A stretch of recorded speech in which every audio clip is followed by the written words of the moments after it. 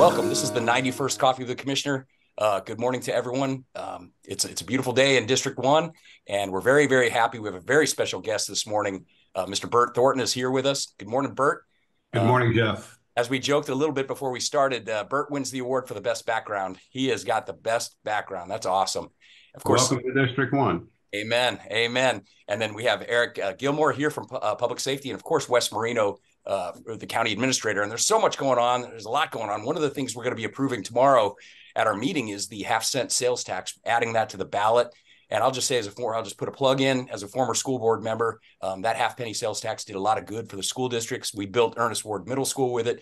We built Suter Elementary School with it. We built Global Learning Academy with it. We did a lot of projects uh, throughout the 60 different schools around the district. So I would just encourage folks to continue it. And I know as a county commissioner, our, our penny sales tax, our local option sales tax is, I mean, Wes, you know, we we couldn't do we couldn't do without it. We just could mm-hmm. not do without it. So we we're I'm very very thankful to the taxpayers of Escambia County for always approving those for the school board and for the county. And I will say, uh, it, when I was on the school board, we had a very good watchdog committee. We keep their eye on things and assist the superintendent, the board members. So uh, good luck to those guys getting that uh, approved. I know that the taxpayers are going to do it, um, but I just would encourage them to do so. So we're going to get this thing started, and we're going to start uh, a little bit different today. We're going to start with Eric because he's got some interesting information about District One, Bert, and about Perdido Key in particular in public safety. As everyone knows, last year we had a very, very uh, tragic set of circumstances. We had some a young family from Atlanta, Georgia, and uh, unfortunately they got caught in the riptides out out swimming and then one family member tried to save another and then they both drowned and um, so eric what are we going to do this year different out in perdido key in district one so uh, we are going to have a presence of a lifeguard presence on Perdido Key this year. Um, I'm working with uh, Alexander Johnson, my deputy water chief. He'll be here this morning. We're going to nail down some uh, things of what we what that looks like. It's going to be a hybrid system uh, because we are so spread out with beach accesses out there at Perdido Key. You know, one through four. Uh, we're looking at putting a hardened structure that the board uh, let us buy with lost funds, might I say. It was uh, lifeguard towers with lost funds. Uh, so we are going to put a lifeguard tower, looks like probably beach access two, and then uh, work on a roving patrol uh, after that because it's, it's very important that if we don't have a presence at access one, three, and four, that we have something roving to make public contact. That's that's the key is that public contact to talk to the people, make sure they understand the water conditions, make sure they understand the dangers, to go out there and put, you know, talk to people, put hands on them. Uh, before that, there was nothing out there. People just went out there. They just did what they wanted to. And, uh, you know, not understanding the dangers or anything, but we see at Pensacola Beach, making that public contact or making that contact is key to preventing uh, any drownings or anything like that. So, uh, as I said, that's kind of what we're looking at right now. We'll nail down some specifics here later this morning, uh, but that's you know that's subject to change. If we find that that's not truly working for our best interest, or we need to reset, we might reset throughout the season. But that's roughly what it's looking like right now. A uh, lifeguard staying at two with a roving patrol at uh, one, three, and four, and of course we always have uh, we've always had lifeguards at Johnson's Beach as part of that contract with Gulf Islands National Seashore that we uh, cover that area and been doing that for years. So we're excited to to bring something out there to be able to to to talk to the public and make contact with them. Now, Eric, but didn't did we or did we not uh, discontinue that contract with Gulf Islands, or did they get around to renewing it with us? It renewed. It renewed. Oh, did it? Okay. So, so there was so, there was talk that they weren't going to do that. There though, was right? talks. Uh, we didn't know where they were going to go with it, but uh, we did get the contract uh, a couple of weeks from them, so they're they're back up. So we're we're doing the contract with those guys. Uh, Dave Greenwood and the uh, the beach lifeguards have done a phenomenal job of promoting and trying to get people to sign up with us and get hired on.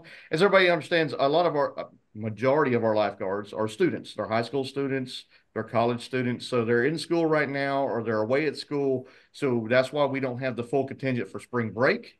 Uh, that's why at the beginning of summer, we'll have something out there at the beginning of summer that we'll have the staffing to do that. We've right. got about 56, 57 lifeguards uh, that, that, need to go through their training right now, get their CPR recertification, their emergency medical, and then uh, you know their aquatic, their uh, skilled uh, the skills with uh, like rescue and all that. So, uh, but they're working to get those guys trained up and get ready for the summer. And when they when they rove in their white trucks, uh, do they or do they not? They have the flag on the back. So if you see a truck going by and it's got a red flag or a double red flag, I mean, is that the case? I mean, that, that's what they do, right? Yes, that's correct. So they'll they'll be riding by with the flag system, and they're going to be responsible. We're going to talk about putting flags at each of the accesses. So, and they're going to be controlling those flags so people can see going in what the flags are going to be. uh, everybody needs to understand that uh, Escambia County's flag system is different than Orange Beach's flag system. Mm-hmm. Orange Beach never flies a green flag. They don't even have a green flag. They start with yellow. They always say swim with caution. So I want everybody to understand that. Uh, you see green flags, we'll post a green flag, and they go, well, Orange Beach is posted yellow. Well, Orange Beach does not have a green flag. They never tell you that the water's, you know, it's a false sense of it's a green flag, I could be able to go. I should be able to go out there and have no problems whatsoever. No, it's the Gulf of Mexico. Right. You always exactly. need to be cautious when you swim in the Gulf of Mexico. So uh, we're looking at probably uh, that's something we'll talk about. Do we just post yellow flags at the ones where we don't have lifeguards and put a green flag where we're at because we are protecting with uh, uh personnel there? So mm-hmm. those are some things we'll work out and uh, try to iron those things out this morning. Hey Eric, what's up with all the great white sharks? So they just caught a great white shark in Navarre they caught one at Pensacola Beach like last year, and then today in the paper they're saying that another one pinged off the coast. I mean, I know it's probably Captain Turpin's or Chips Kirschenfeld, but what's with all the great white sharks in Pensacola, man? I have no idea. I can tell you, I can tell you that uh, you know, because of uh, emergency management and us watching the Gulf waters, I can tell you that uh, the Gulf waters have been warmer than usual. Uh, so maybe it's the warmer Gulf water. I don't know uh, huh. specifically, but I do know that we've had the the stream the uh, Gulf Stream come up uh, around the peninsula of Florida and get into the Gulf of Mexico and bring warmer water up toward the coastline uh, more than usual. So last year, uh, year before last, it was it was pretty good, pretty warm. Last year was pretty significant. It was pretty warm. That, that plume of warm water really came up near the coast. So it maybe something to do with that. I don't know. So. Right on, right on. Well, appreciate everything you guys are doing. I know we've uh, we were coming dangerously close to opening that fire station in Beulah. It's been uh, seven years and eleven months, and maybe we could get in under eight eight years. What do you think, Wes? Can we get that thing done before the? I'm optimistic about it, Commissioner. I'm optimistic about it. We're ready to get it on and get it done. Wow, I tell you what, we walked through it about three weeks ago, me and John Singley, and uh, it's coming along. But I'll be honest, it wasn't as far along as I thought it would be. I, do you know if they poured that uh, bay floor yet, or if they've got that done? I do not know that yet. I'll, I'll have to give it Rob Rob Hogan a check. Outstanding. Well, I got to throw some kudos uh, at you, Wes. I mean, you've been managing a lot of different problems. Uh, I know I send a lot my way. I can only imagine that my counterparts do as well. But appreciate all your work with, in particular, drainage, stormwater drainage. We've done a lot of work on our properties. We have a lot of properties that we own that are adjacent to business owners. And I'll just say, for the record, you know, Wes has stepped up and and really uh, had the crews out there helping, and we really appreciate it. And I know that um, Casey Lagarde just spotlighted a big project we did south of Nine Mile Road in District One, Windsong, and uh, that's going to be great for those uh, those neighbors over there. I'm uh, hopefully you'll put that on MyEscambia so citizens can see it. I want Chris Kerb to know about it. I want the folks from Flood Defenders to know that we're spending money. We got a lot of money we're putting out in projects, and we're doing a lot with traffic and stormwater. But that's another one that I wanted to spotlight. But uh, Wes, what else do you? What else is going on in the county right now? Well, we have a board meeting tomorrow, tomorrow morning, and we'll be pulling $6.8 million of ARPA money to allocate to different projects, Deerfield Estates, uh, Robbins Ridge, Bayou Marcus Basin Study, uh, Palmetto and Live Oak, Stacy and Quintette Road, uh, King, East Kingsfield and Ziegler Road drainage. So we have a lot of projects that are fixed to get. Some of them are already in design, so we're, we're ahead of the game there. We're going to be pulling that money forward. We're going to go into construction here coming in the latter half of the year. So it'll be extremely busy for us on top of the things we have going. We have our uh, resurfacing packages going. I think Perdido Country Club Estates is scheduled for some resurfacing on Shoshone and and Doug Ford and maybe a few Navajo, a few other roads maybe. Uh, we just got a lot of work going on every, everywhere we turn. Engineering is doing a great job. Public safety's uh, they're clicking on all cylinders. If can't can't, can't go without Michigan Public Works. Uh, they're always in the middle. It seems like they're in the middle of everything we do, no matter if it's a contractor job or something. But they're always in the middle of it. Uh, development services is busier than they've ever been. Building inspections is busier than they've ever been. And uh, poor old John Robinson there at the animal shelter, he's still getting crazy stories from from from, from the incidents that go on there at the animal shelter. You just wouldn't believe. But we're really doing well throughout the county. Steph and I are, are we're working on the budget. and we've been working on the budget since January, actually. Uh, it's a, you know it's a, it's a never-ending process. Yes. So we're coming up into the budget workshops uh, here in June and we'll, Steph and I will be meeting with all the departments uh, throughout April and May. And uh, it'll be a big budget, but we're going to do a lot of good things with it, and uh, we're looking forward to, to getting through the budget cycle. How is the uh, how's the tax roll looking, Wes? Are we going up? Uh, I, everyone's worried about it going backwards because of the interest rate hikes, and I don't think we're going backwards. We're issuing more building permits than we've ever issued. Yes, and, and same thing with developments, as you well know. Yeah. Uh, so we're hoping we're hoping for you know ten percent something right around there. uh, uh, increase in ad valorem, just not increasing taxes, just the increase in ad valorem due, due to development.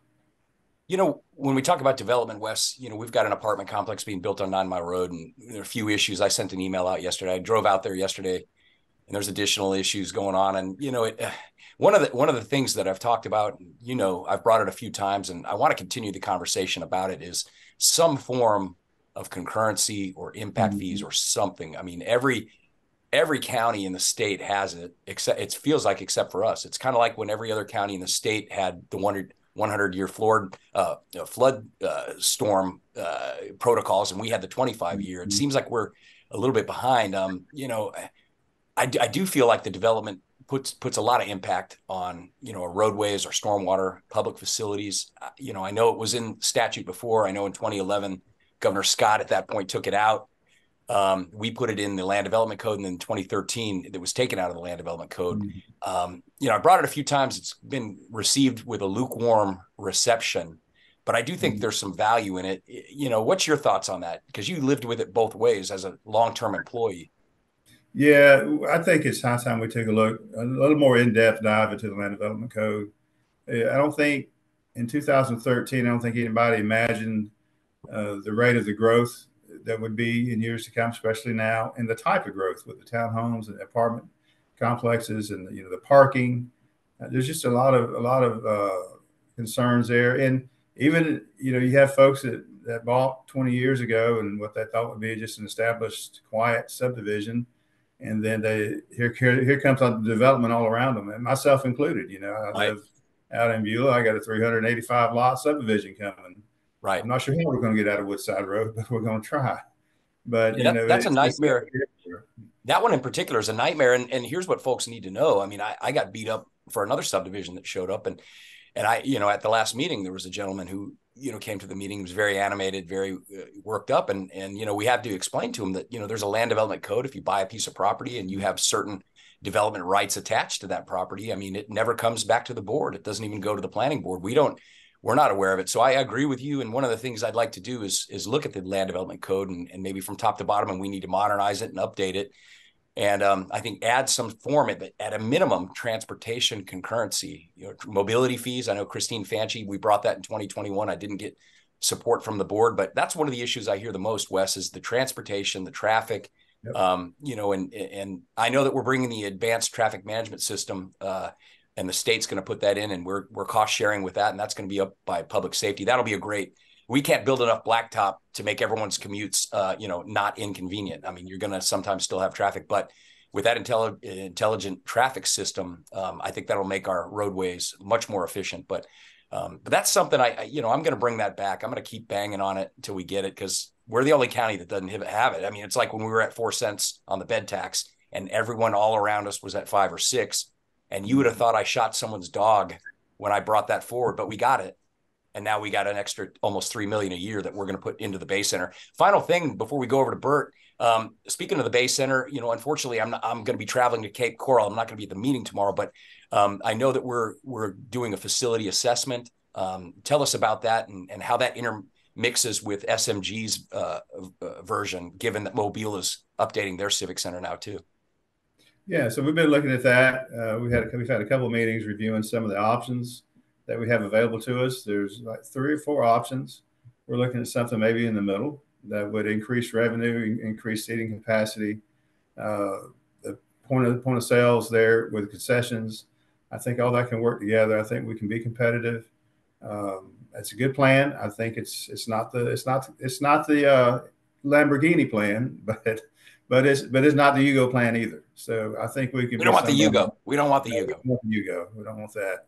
So uh, Michael Capps is doing a phenomenal job there at the Bay Center. He's been guiding us along through this, and Populous was our our consultant. And I think we have some good options where they actually put some some skin in the game, and we may get to a point where we can eliminate that sub- subsidy out of the TDT, which would be fantastic.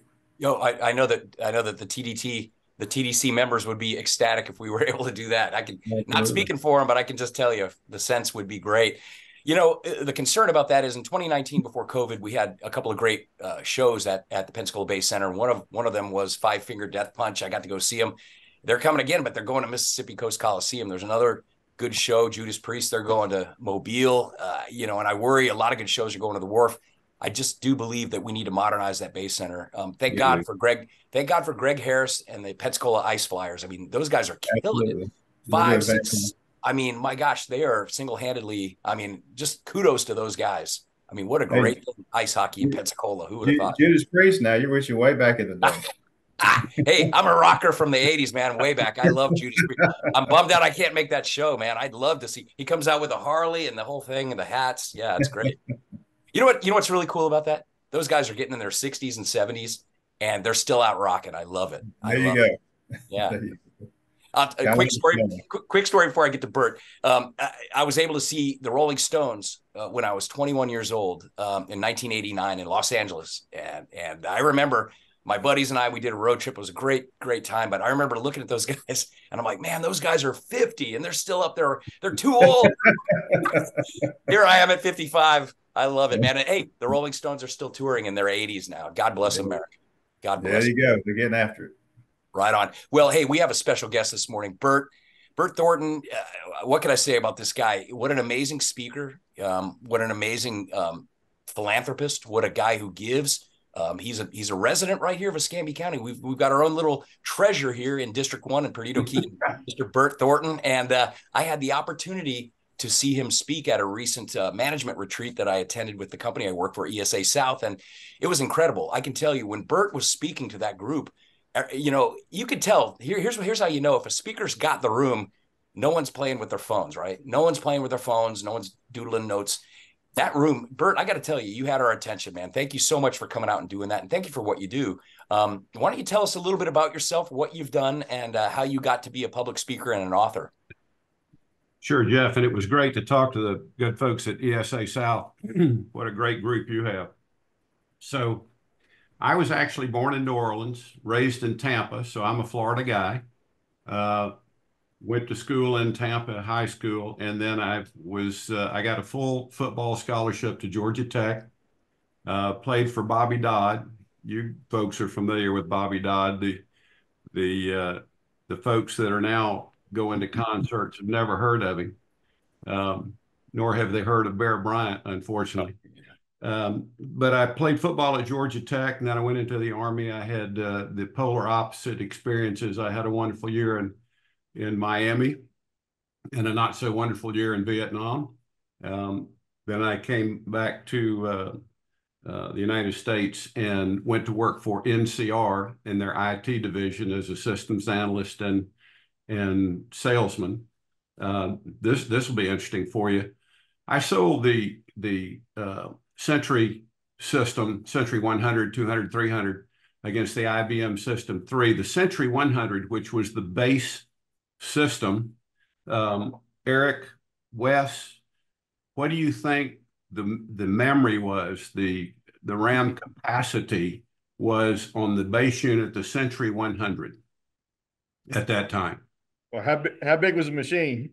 Well, let me, yeah, it was about the size of the room I'm sitting in. Yeah. But but the memory the the memory was 64 K. K. Wow. K. Yeah. Now you got to remember, we sent people to the moon with these kinds of machines, and but we had a, a, thousands of them linked together. There was a lot of in out time. So loved the business, but didn't like the big corporate hassle. Got a call from my uh, fraternity brother at Georgia Tech, whose father was the founder of Waffle House, Joe Rogers Sr.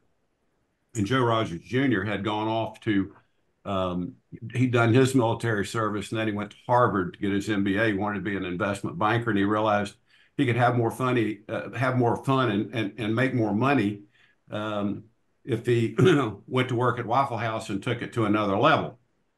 He got in there and realized he was going to need some help. So he raised his hand, called me. I went up there. He said, please come up and talk. I went up, I flew up there from uh, Tampa and excuse me, the next thing I knew, I was flipping eggs and turning hamburgers. and 40 years uh, later, um, ensuing in that process, uh, he became chairman. I became president. We had about 45 uh, Waffle Houses when we got it all together and started. And a little over 2,000 today in 25 states. So it was, um, and we open a Waffle House someplace about every week, um, five or six days. Um, so Waffle House has been great to me, and it's been great to Escambia County. We have a, a, a great presence here. Our senior vice president, um, or rather our area vice president who runs this Northwest Florida market, uh, is a young lady named Krista Artinger, and she is uh, a wonderful, wonderful operator. I was lo looking at the PNJ this morning where they list uh, restaurants with problems and the restaurants that have perfect grades, and she has always got uh, Waffle Houses in uh, the perfect grade area. So 40 years with Waffle House. I retired uh, actually in 2011. We bought in Perdido Key in 2002 but I never really had time to come down here. I was always in some place from Savannah to to Phoenix or Elkton, Maryland to to uh, um, Key Largo. And the end of the story is that when I retired, uh, I realized that I had spent just a, a great deal of time mentoring people, certainly at Waffle House, hundreds and hundreds of people at Waffle House, at um, Georgia Tech faculty, staff, uh, and students, um, and, and other folks, starting with my three sisters, all Georgia Tech. I mean, my three daughters, my three daughters, all Georgia Tech graduates and their friends. Um, and I realized that that there were a lot of people in the fog and I could help lift them out of the fog, but there were so many that I would never be able to sit across the table and answer questions that they might have. So I had always taken notes. Um, you heard me give the talk about success tactics, the basic yes. laws of success, Jeff. Yep. And, and uh, the number one thing that successful people do is they always uh, take notes. Eric and Wes will agree. You can't keep it all right here. You've got to write it down or put it in your personal device you'll go crazy if you try and remember everything. So I always took notes when I talked to folks uh, about the questions they had and the answers I gave.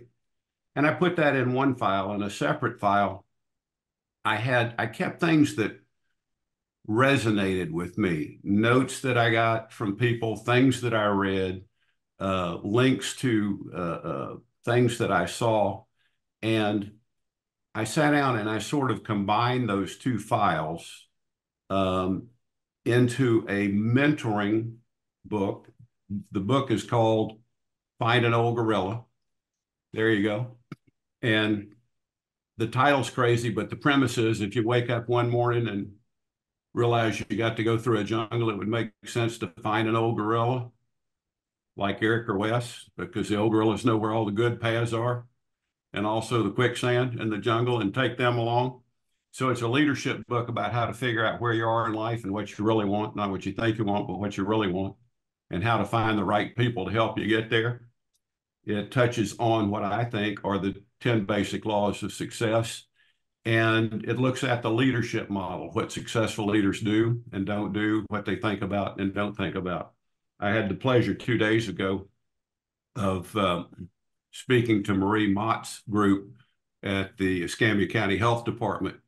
And we talked um, a lot about the basic laws of success and the eight um, eight human behaviors that people when two people meet for the first time, there's a lot of evaluation that goes on, and it it it takes place along eight behaviors, and I call them the eight great social tells because if you're alert and, and know what they are, you can pretty much tell where somebody's been, where they are now, and where they're going. And we talked about that and a number of other things. So um, I also wrote, and by the way, this book won a National Book Award last year. Congratulations. The, the AUPHA, thank you. The AUPHA, the Association of University Programs and Healthcare Administration named it one of 18 books to be recommended in over 100 colleges and universities. So, so there's a lot of wisdom in this book. I'd like to tell you it's mine, but it's basically that file of things that resonated with me. Um, there are pro probably a couple of ideas that that I had, a couple of BFOs. You you know what a BFO is? Uh, blinding, blinding flash of the obvious. Oh yes, yes, yes. That's in the book. That's in the book. Yeah, yeah. Where you hear something, you say, "Oh yeah, I've, I've heard that." Well, Bert, let, let me ask you something about the book in particular because I read it and um and I just want to point out, Bert. You know, Bert gives his talks, and he told me uh, when he came to the management retreat, he gave forty four. Uh, talks last year, and he does it at his own expense. He doesn't take speaker fees. And he also brought books. He brought books for more than 40 attendees at our management uh, seminar. This one and um, your, your, other book on mentoring, the value of mentoring.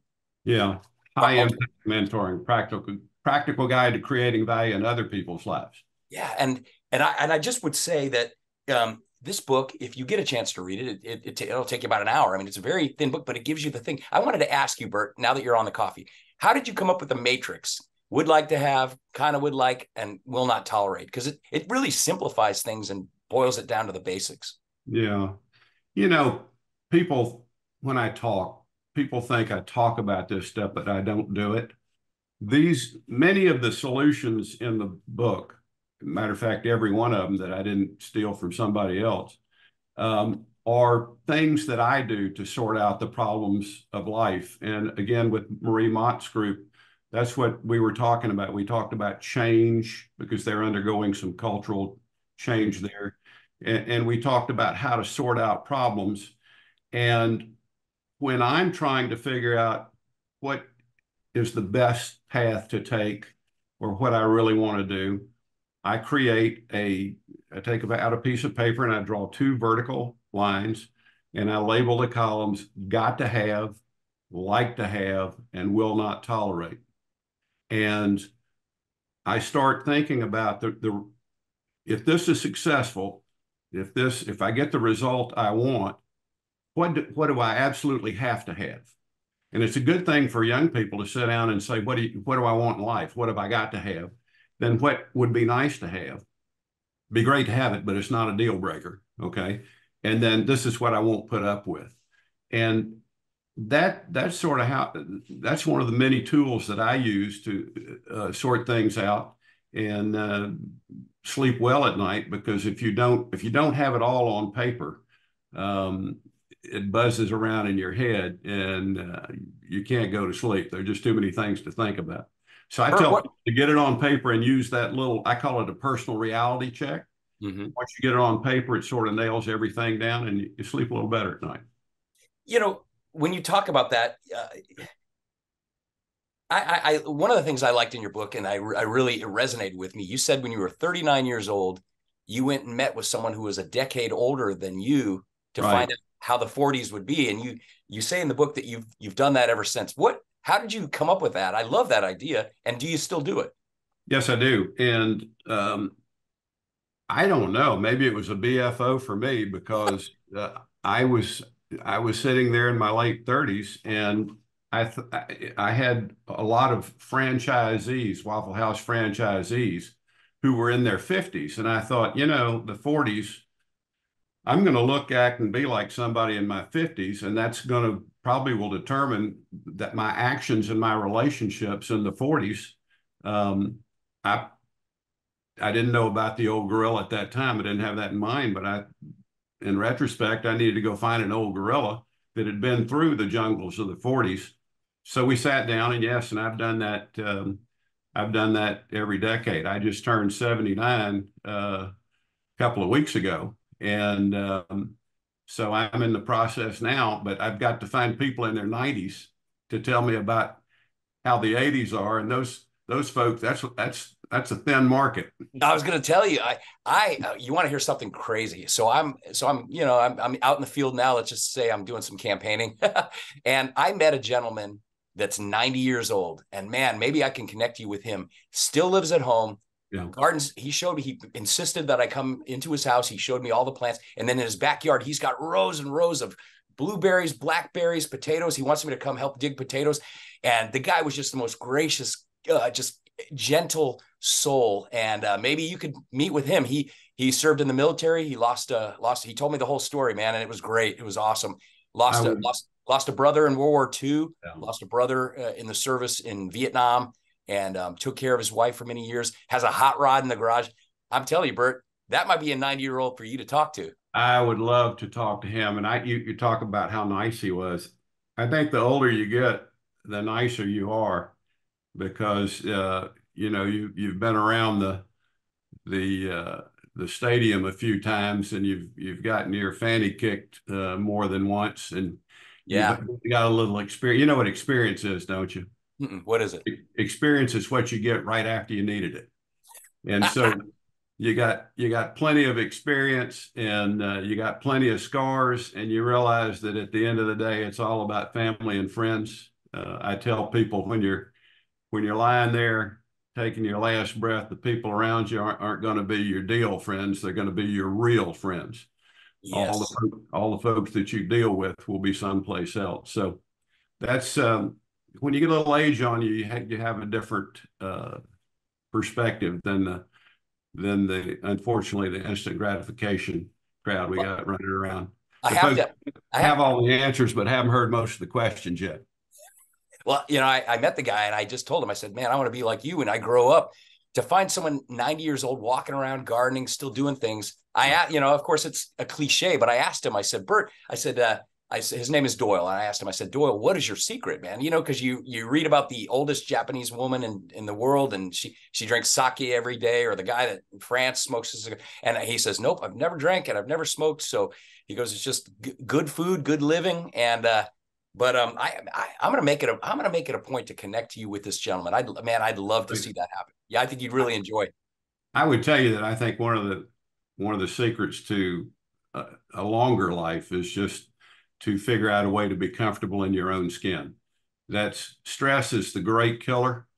And, and until you figure out a way to, um, I tell people you only have four options. You can mope, hope, dope, or cope. Until you can figure out a way to cope with what's going on in life and become comfortable in your surroundings in your own skin, that's a tremendous stress reliever. Stress is is a killer. So let me ask you, in the restaurant business, um, for a, for a minute there, I owned a, a, small restaurant. My wife and I did, and then I until I could quickly sell it as fast as I could. Um, but it's stressful, and the cook calls in. You're on the grill. I know, forty years in Waffle House, you've spent some time on the grill, and the orders stack up, and it gets stressful. How how does Bert Thornton deal with stress? What do you do to relieve stress? Well, yeah, I did grow up on. I grew up on the grill. That my, you know, my first job in Waffle House was uh, bussing tables and washing dishes, uh, mopping floors and then I graduated to grill op. We call them grill operators, not cooks, but graduated to to grill operator. And uh, interestingly, we have um, Waffle House is a performance based company. We've got some grill operators out there making fifty, sixty thousand dollars a year um, because they have they they've cooked a lot and they're they're so good. Uh, we've got a cook named Ryan, grill operator named Ryan at the Gregory Street Waffle House, number 586. And we keep track of how much food our folks cook, and he's coming up uh, on $3 million.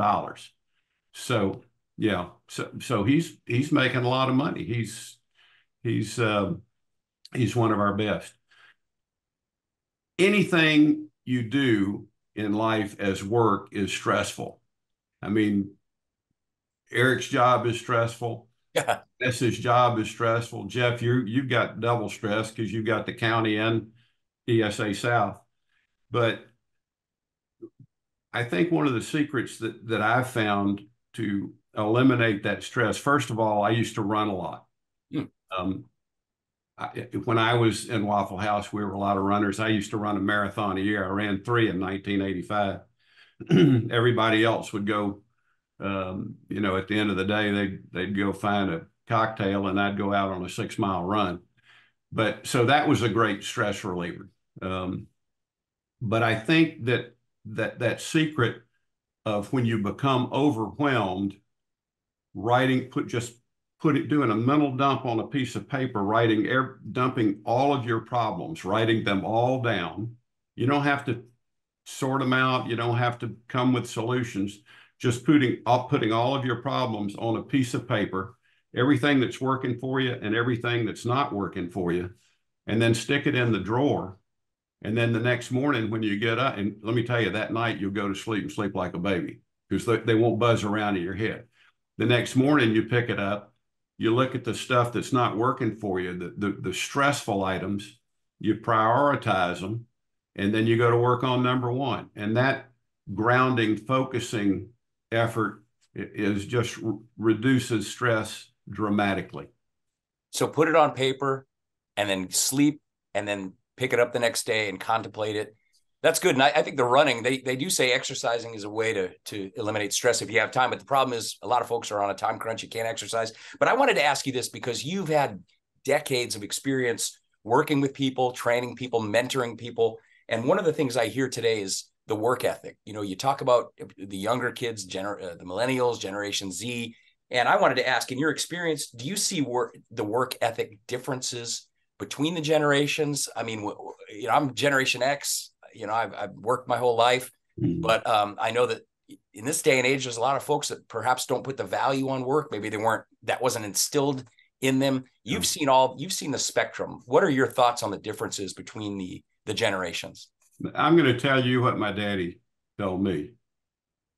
There's nothing new under the sun.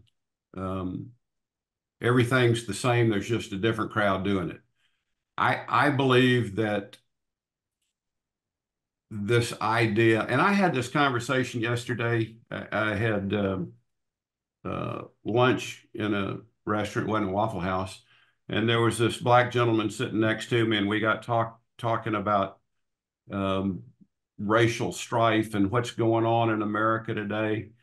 And we we agreed. I told him, and he agreed. I said, you know, I read about this in the paper, and I hear it in the news, and then I go to a Waffle House, and everybody's friendly. Right. Everybody's getting along. There's just no none of none of what you read. So, um, and I think it's the same thing with this generational thing. In any generation, you've got people who are go-getters and you got generation generational people who are laggers. Uh, I I personally have not seen any difference. We we still recruit people who uh, are willing to work hard 24 7 365 and rise to the top um, all the people that we recruit don't end up doing that but it's the percentages really aren't any different um, through the decades and i the, the old adage, no matter how stony the path, some forge ahead, no matter how easy to go in, some lag behind. Yep. I think you, I think you find that in, in every generation. One of the things that I really keyed in on from your speech, Bert, was everyone wants to be a people pleaser. You know, you got people, and and you you had a really great thing that you said. If you say yes begrudgingly to someone for something they've asked of you, like, okay, I'll do it. I really don't want. I love what you say. You say you've made two people upset yourself because you mm-hmm. really didn't want to do it, and then the person you're going to. But I love, I love the way you you uh you you nuanced your no, the way to say no and practice it. Show show us how you say no, Bert. well, I you know. Here's here's another stressful thing. You know, people get overwhelmed because they don't know how to say no. Um, yeah. They have a full plate, and somebody comes up behind them and says, "Hey, uh, hey, Wes, will you do this for me?" and uh, Wes or or Eric or Jeff or Bert says, "Well, you know, I um, okay." So that's one more thing on the plate, and they don't they don't say no because they don't know how to say no. So as as you when I talk to groups like like your group, uh, we practice how to say no, and people say, "Where did you come up with that?" And I say, "Well, that's one of the ways that I've learned how to say no." And I say, "No, I'd love to help you out, but I can't. I've got something else I've got to do that's going to keep me from doing that. And I hope you find somebody else real soon. And I give them a little smile at the end that makes that medicine go down. Uh, but there are other ways to say no. You can say, I'm sorry, I have a full plate.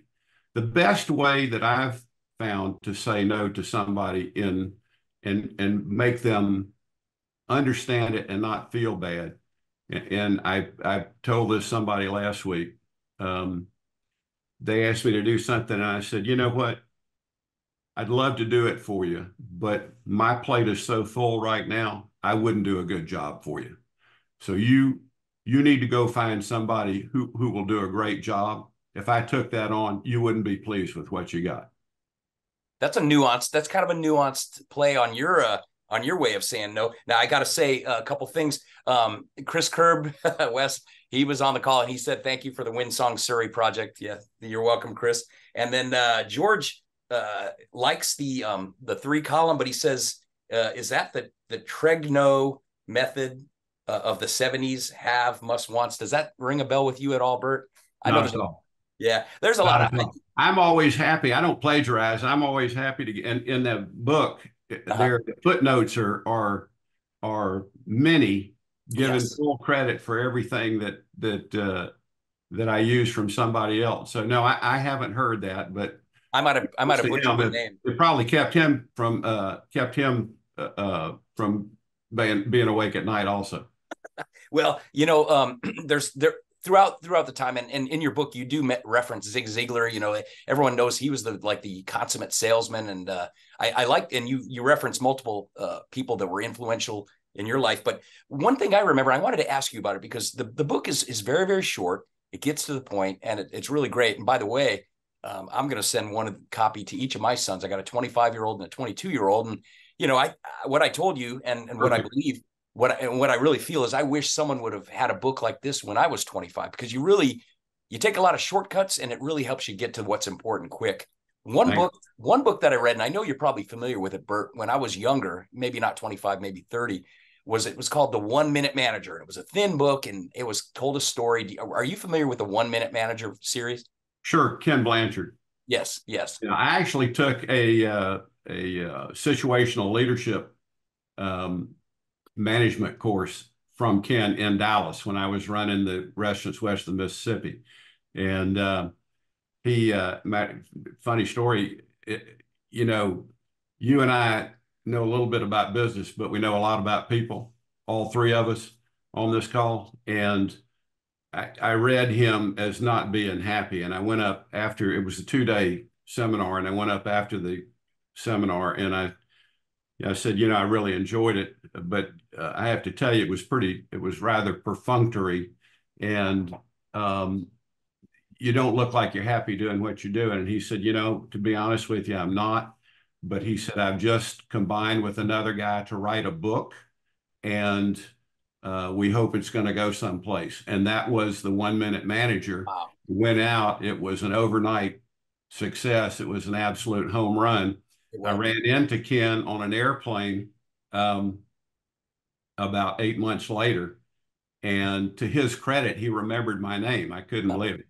Uh, but I was in Waffle House uniform, so uh, that might have he- helped him. And I said, "Looks like you hit the home run." He said, "Yeah, we've been very pleased." And I did notice he was sitting in first class, and I was going back to coach. Hey, but here's the important question: Was he happy? Is he happy yeah, now? Got a smile on his face. Oh my gosh! Well, man i uh, again i appreciate your time. I really appreciated that lecture. I know all the guys all the managers from around the country really got a lot out of it. They were still talking about it days after. But I, you know, well I, you know one of the things you talk about is there's a list of things that you do successful people do habits and it's kind of interesting. You say these are easy to do but they're easy not to do. So uh, you know what is the most important easy to do thing that you would tell a young person, you know, maybe 22, 23, entering the workforce, not really sure what they're going to do? What's number one, Bert? Yeah, I people when I go around the country and talk to folks, the number one question I'm asked is, Bert, is there a silver bullet to success? Is there just one thing you can tell me that will send me off on that road to achievement and prosperity? And uh, Jeff, turns out there is a silver bullet, and and here it is. If you want to be successful, hang around successful people. Who you hang around at every stage in your life determines where you end up in life. And um, if you want to be rich, hang around rich people. If you want to be respected, hang around respectable people. And so the silver bullet is if you want to be successful, hang around the right people. That's the number one key for a young person. Hang around the right people and in the right environment. Um, and then I tell them that the bigger, better, faster, stronger bullet, the gold bullet is while you're hanging around the right people, find a great mentor, someone who has a personal interest or, or a sincere interest in your personal success, um, someone with a, a demonstrated track record of success. I mean, if not, why would you listen? Uh, someone who has knowledge or expertise in your particular area of interest. And here's the most important point, and you will agree, peer respect. The greater the respect by his or her peers for your mentor, the greater your chances of success.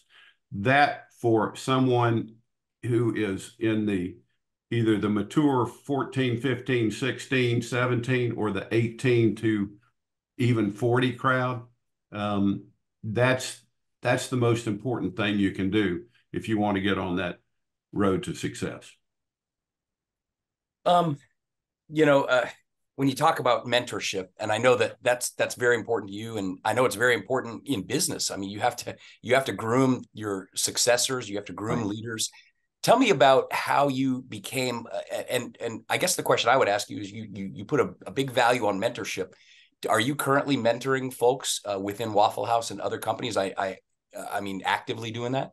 Yes, of course. I uh, I'm on Quint Studer's board at the Studer Community Institute, and there are there are many many opportunities to mentor there. We have a program called Accelerate Roundtable, which are uh, a lot of uh, business young emerging leaders who get together and talk about issues that confront them. And I I head up that group. I'm sort of the master of ceremonies, if you will, the, the group leader.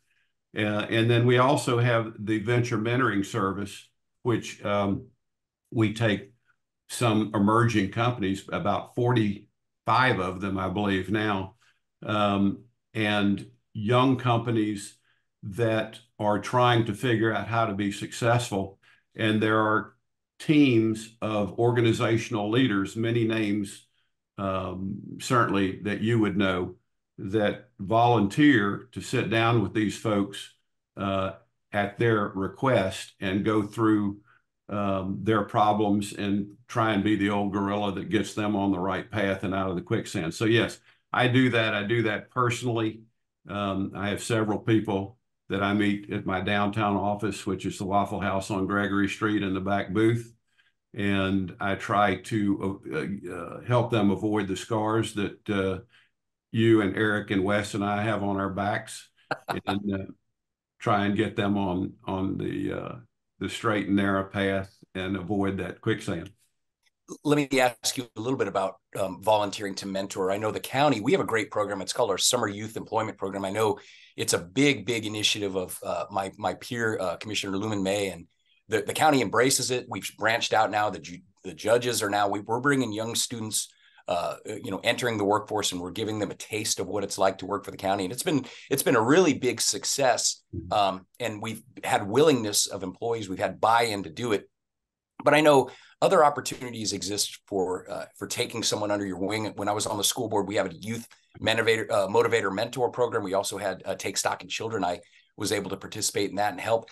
Um, last week I was at the opening day of the ballpark and I spoke with the, the president of the ballpark and and I asked him, I said, you know, I asked how how are things going here? And and and this is the question I have for you, Bert. He said, well, you know, it's it's about 20% of the parents that that will really step up and volunteer. And it's it's it's difficult because it just seems like volunteers, people to step up and mentor. Uh, it's it's on the decline. What are your thoughts on that? How do we re-energize our citizens locally, nationally, throughout the country to get involved with a, a young kid, get, in call, get involved in mentoring, get involved in youth sports. How do we do that when folks are so busy? How do we do it? Yeah, I don't. Well, busy is a relative thing. I, I always say if you want to get something done, give it to a busy person because they're or, they are organized enough to get it done. Quint Studer said one time, I every time he does something I like, I just write him a little note or I send him a text or an email. Yes. And he said in a, a presentation uh, one time, why why is it that the busy people always take the time to do something? And the answer is because busy people have organized their time around getting things done, whatever is is on their plate. That's why it's so important to keep stuff that is not important off the plate. But how do you rally people to do things? I have an I was uh, had a, a founding board role with the Charter Public Elementary Middle School at in DeKalb County, the, the Museum School of Avondale Estates, hmm. and um, and am still on their advisory board. And it's a top five percent um, school. It was the Charter Public School of the Year. Um, the principal was the principal of the year the, the, the year before, and it's just a magical place. But one of the solutions is that they entreat parents to come and participate. And frankly, that's the key to any successful school is parent participation. Um, and they actually made it a requirement. Um, and somebody said, "Well, that you, that's against the law," and I and I said, "Well, okay, let somebody sue us then." But you know, the, that's great. Yeah, that's great. I mean, let's do the right thing, and then if somebody wants to take offense to it, then we'll you know we'll play that ball where it lies. But I don't think there's any any magic bullet to getting people involved. There's always a, a certain number of people who will want to to help, uh, and there are some people who either think they're too busy or they are just lazy, and that's okay too. Every you know everybody's got their own ship to sail. Yep. But if you make it interesting, and you ask and you seek the right people, and and and get them interested in I, tell people, show me and I'll see, tell me and I'll hear, get me involved and I'll understand. So you don't show them and you don't tell them, you bring them to your to your your events, your whatever, get them involved, and then they'll understand, and you've got a better chance of of drawing them into to helping the cause. Wow. Wow. Well, I mean, that certainly is sage advice. And I know it's difficult to get folks motivated. And, and, you know, my my wife always tells me because I'll tell her so. I hate to say it, I hate to admit it, but sometimes I say I'm, I'm busy. She, you know, she says to me, she goes, "Everyone's busy," and I end up doing whatever she wants me to to do. Um, Good move there. Yeah, well, yeah, yeah, that should be one of your laws of success. Keep your wife happy.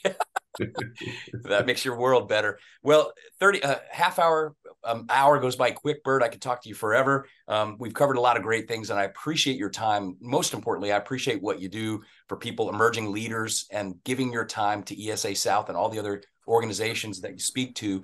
Um, so I thought we'd end this morning's coffee with something kind of fun. Um, you know, I've been to Waffle Houses all over the place. Uh, primarily late at night after other activities. And uh, I, so you work in there 40 years. What does Bert Thornton order at Waffle House when you go into Waffle House as a customer? What's the best thing on the menu? Well, for me, it's a Texas cheesesteak plate, scattered, smothered, and peppered. S- scattered, smothered, and peppered, but not covered and chunked. Why not covered and chunked? Well, covered is cheese, and I put the cheese on the Texas cheesesteak melt, and I don't want to put it on the hash browns. And the chunked is ham, and if I ever order grits, I tell them to chunk and pepper the ham, uh, chunk and pepper the grits, which is grilled ham and grilled jalapenos in the grits. But yeah, wow. you, and we have people who order everything. They get the hash brown, scatter, smothered, cover, chunk, dice top, pepper, cap, and country, and that's me. Does the hey? Does the grill operator get? is that what you get, Wes? That's me. That's what I order hey, does the grill operator get overwhelmed when you hit him with all that stuff on the on the hash brown? No, um, because they don't have. Back in my day, they had to remember the orders. Now they they cheat. They have something called a magic marker system. If you watch in a Waffle House, when the salesperson calls in the order, the first thing that happens is that the grill operator will pull a plate down and start placing jelly packs, condiments on the plate, and they literally paint the order on the plate. Really? So, yes, sir. So if if you're if you're cooking um, and you want to take a break, you could literally walk off the floor, and I could come in and I could see what's on the grill and see what's on the plates and pick up. You wouldn't have to say a word. I could just pick up and start cooking. Wow, too. That's awesome. Yeah. Watch that the next time you go. One one more thing, Jeff. Yes, sir.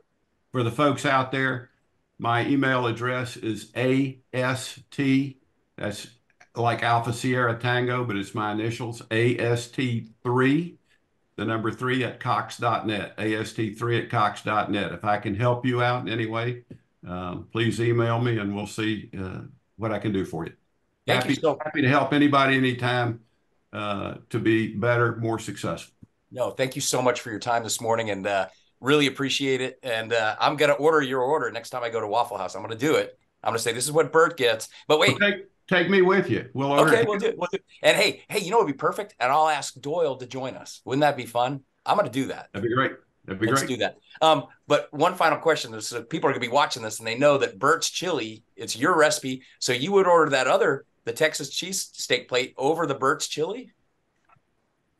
No matter what Waffle House I go to, the first thing I start with is I tell them, give me a little taste, or just a little, not a full bowl, but a taste of the chili, because if your name is on it, you will taste it everywhere you go. And uh, it's actually, my wife orders it every time. Um, but let me tell you something. Over the years, I've I've had enough Bert's chili. I've I've moved on. I go back now to make sure it's right. Oh, good for you. Right on. Outstanding. Well, all all of you guys, thank you so much for getting up early. What a what a fun, entertaining uh, morning. And I appreciate you, Bert, and I appreciate you, Eric, and you, Wes. Thank you guys for what you all do. And um, we'll see you next month at the 90 second coffee with the commissioner. Everyone have a great rest of the week.